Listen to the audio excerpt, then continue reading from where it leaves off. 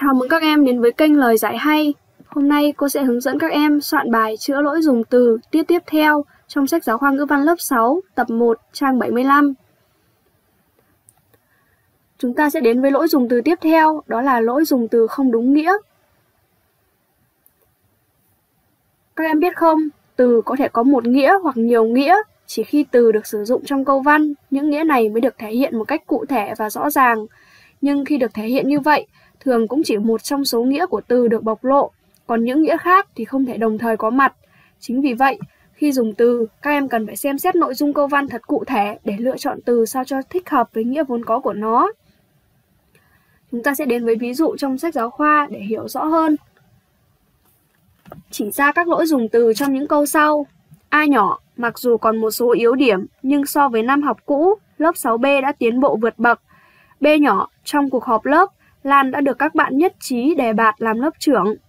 C nhỏ, nhà thơ Nguyễn Đình Chiểu đã được tận mắt chứng thực cảnh nhà tan cửa nát của những người nông dân. Và yêu cầu thứ hai trong phần này đó là hãy thay các từ đã dùng sai bằng những từ khác. Ở đây, người viết đã mắc lỗi dùng từ không đúng nghĩa đúng không nào? Các từ dùng sai ở đây đó là Trong câu A, từ dùng sai là từ yếu điểm. Câu B là từ đề bạt.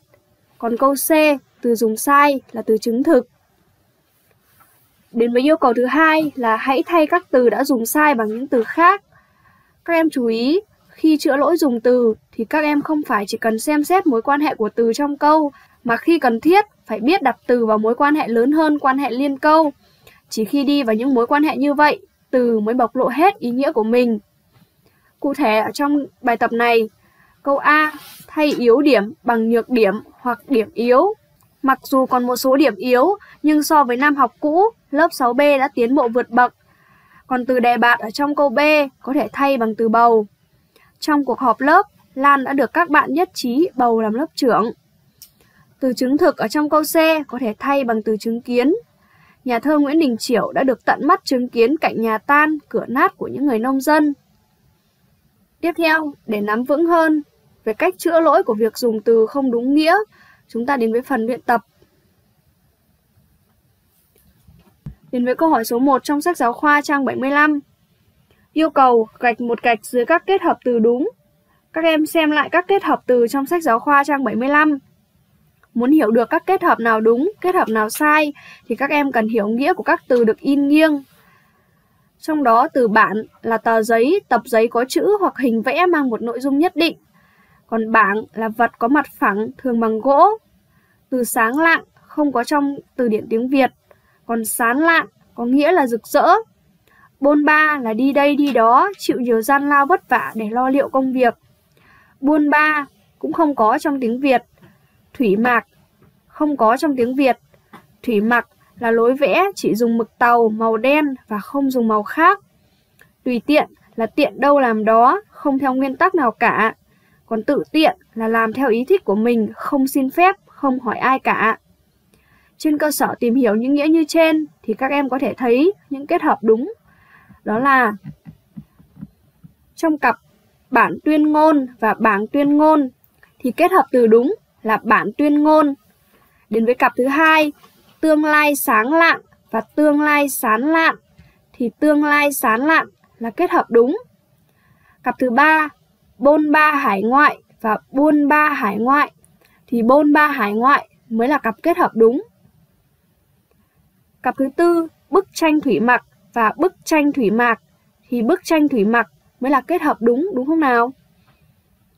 Đến với cặp cuối cùng, nói năng tùy tiện và nói năng tự tiện thì dựa vào nghĩa của từ tùy tiện và từ tự tiện thì có thể thấy kết hợp từ đúng ở đây là nói năng tùy tiện. Tiếp tục, chúng ta đến với câu hỏi số 2. Chọn từ thích hợp để điền vào chỗ trống. Các em xem bài tập 2 trong sách giáo khoa trang 76.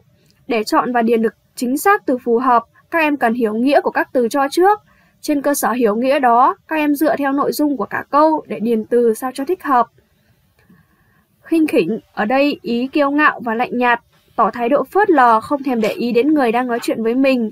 Còn khinh bạc là coi chẳng ra gì một cách phũ phàng. Khẩn thiết là cần thiết và cấp bách, còn khẩn trương là gấp gáp và có phần hơi căng thẳng. Bâng khuâng là có những cảm xúc luyến tiếc, nhớ thương xen lẫn nhau.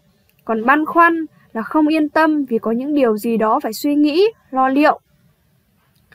Như vậy, dựa vào nghĩa của những từng như vậy, dựa vào nghĩa của từng từ như trên, các em có thể điền như sau. Câu A khinh khỉnh, tỏ ra kiêu ngạo và lạnh nhạt, ra vẻ không thèm để ý đến người đang tiếp xúc với mình.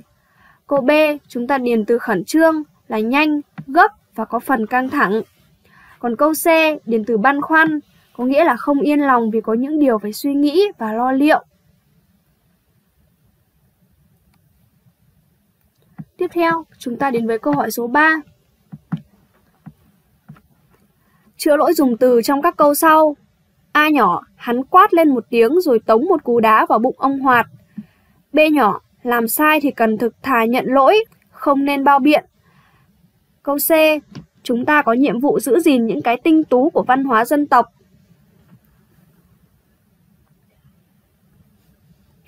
Để chữa lỗi dùng từ trong những câu trên thì các em cần hiểu rõ nghĩa của các từ như tống, đá, thực thà, thành thật, bao biện, ngụy biện, tinh tú và tinh túy.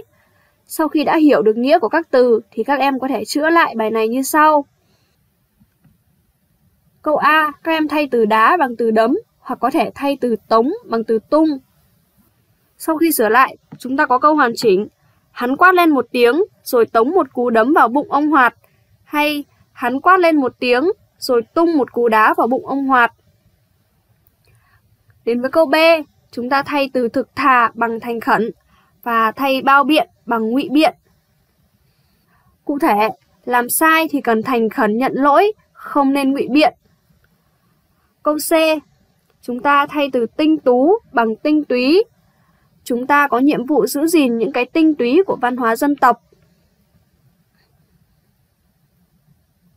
Cuối cùng, chúng ta đến với câu hỏi số 4. Đây là bài tập chính tả. Yêu cầu nghe và viết bài em bé thông minh. Từ một hôm viên quan đi qua đến một ngày được mấy đường. Các em chú ý lắng nghe cô đọc lại đoạn văn. Em bé thông minh. Một hôm, viên quan đi qua một cánh đồng làng kia chợt thấy bên vệ đường có hai cha con nhà nọ đang làm ruộng. Cha đánh trâu cày, con đập đất. Quan bèn dừng ngựa lại hỏi. Này, lão kia, trâu của lão cày một ngày được mấy đường? Người cha đứng ngẩn ra chưa biết trả lời thế nào thì đứa con chừng 7-8 tuổi nhanh miệng hỏi vặn lại quan rằng Thế xin hỏi ông câu này đã, nếu ông trả lời đúng ngựa của ông đi một ngày được mấy bước, tôi sẽ cho ông biết trâu của cha tôi cày một ngày được mấy đường. Như vậy, cô vừa hướng dẫn các em soạn bài chữa lỗi dùng từ tiết tiếp theo trong sách giáo khoa ngữ văn lớp 6, tập 1, trang 75. Hy vọng sau bài học ngày hôm nay, các em sẽ không còn mắc những lỗi dùng từ cơ bản như vậy.